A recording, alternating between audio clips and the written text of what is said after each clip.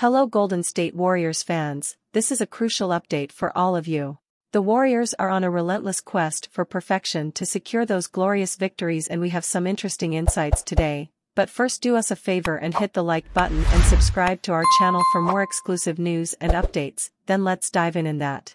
In a captivating statement following Thursday night's clash between the Golden State Warriors and the Los Angeles Clippers at the Chase Center in San Francisco, Klay Thompson showered Jonathan Kuminga with praise.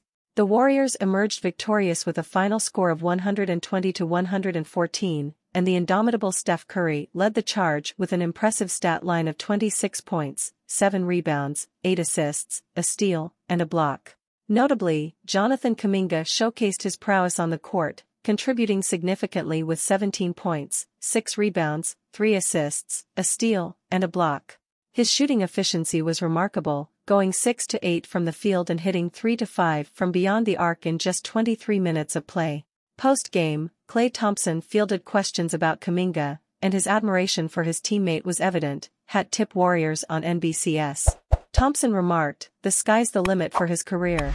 He can do things you can't teach, especially his ability to elevate above the rim.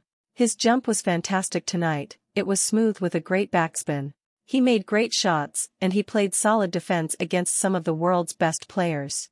It's a joy to see him grow. Sometimes, we forget he's only 21 years old and has a lot of basketball ahead of him. Klay firmly believes that the sky is the limit for JK and relishes witnessing his continuous development. Thompson, who concluded the night with 22 points, 6 rebounds, 2 assists, and a block, showcased his own skills, going 8-18 from the field and 2-7 from beyond the three-point line in 34 minutes of play.